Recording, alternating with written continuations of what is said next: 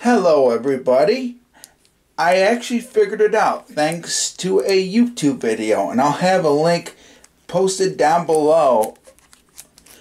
I figured out how to get this sucker to actually glow in the dark. You need to have a light flashing on it or one of these uh, particular light thingies in order for it to get to glow. That's the only way that it's going to glow is through a particular light and if you do it right it will glow like this.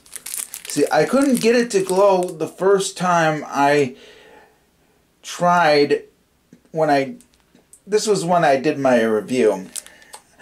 I was trying to get it to glow in the dark and I had trouble and I had no idea how to do it but now I know.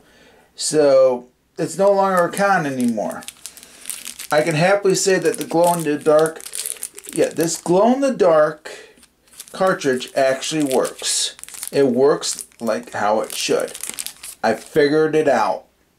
And if you want the person that actually showed how to make this glow in the dark, I will have a link down below in the description box.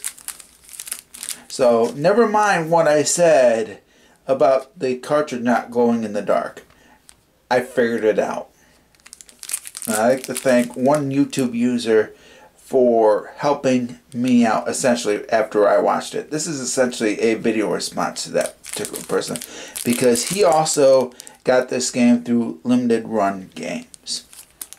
So the glow in the dark feature is no longer disappointing. I apologize for what I said.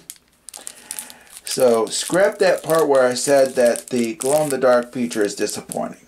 Thank you all for watching, and of course, my next gameplay and review is of course on Christmas Eve.